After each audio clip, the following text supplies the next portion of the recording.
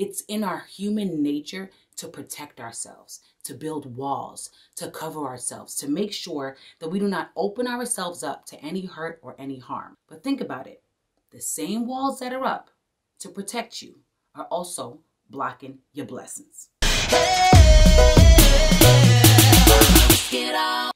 What's up, ladies and gentlemen? It is your girl, Lydia Caesar, aka The Sassy Wife, and I'm back with another video. Before we get started, make sure you subscribe. Make sure you hit that bell so you can get notifications when I drop Sassy Wife videos because we got a lot to talk about. This topic is going to be short and sweet, and I love it because it's something that so many people are looking for. The only way to find true love. Now, you may be watching this and be like, what is she even talking about? There is no one way. But you know what? There really, really is. And I want to share it with you because I really want more of us to be able to not only love better, that's something that I say a lot, let's because we can all love better, but so many of us don't even have love in the first place. There's so many single women out there really searching, and there's so many single men out there searching, and they're just not finding each other. And I think that there's a major disconnect, right? And the main, most important thing I believe is to let your guard down. We are so guarded it's in our human nature to protect ourselves, to build walls, to cover ourselves, to make sure that we do not open ourselves up to any hurt or any harm, right? But think about it the same walls that are up to protect you are also blocking your blessings. I'm to say that again. The same walls that you have built up to protect you are the same walls that are going to block your blessings. So when you're looking for love and when you have accepted who you are, when you love yourself, when you're happy with yourself, when you're in a place of completion, right? You feel complete already. You don't need another person. However, you would like to have a significant other. Would you would like a life partner. You are ready to welcome that certain someone into your life. You have to let the walls down. And this is hard. This is something that a lot of people don't do. And I feel like this is why the dating uh, scene is so uh, uh, volatile. It's scary because everybody's out here with these shields, right? So even if there is somebody who has their be- your best interest at heart, you may not even really know or be able to receive it because you have these walls up. So we have to learn to unguard ourselves, take off all that armor. We call it the relationship game. What do games come with? Games come with rules. Games come with hacks and ways to beat the system and ways to get to what you want to get to. You got to lose all that. So it's even confusing calling it a, a dating game or the relationship game because it's not a game. There are no rules.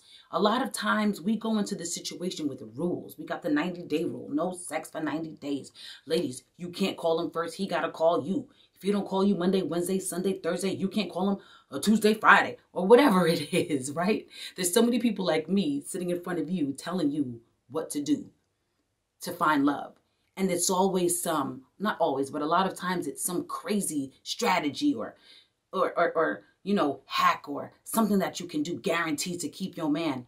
Honestly, the only way that you're going to be able to welcome love into your life is by letting the walls down. This does not mean that you do not learn things from your previous relationships. You may have had some relationships where you went in there unguarded. This is the main reason why people uh, show up with walls up because they feel like they made a mistake by letting their guard down before. Let me tell you something. When you're searching for true love in your life, you are going to potentially get hurt. No risk, no reward right? There's always that risk factor of is this person going to reject me? Is this person going to hurt me? And guess what?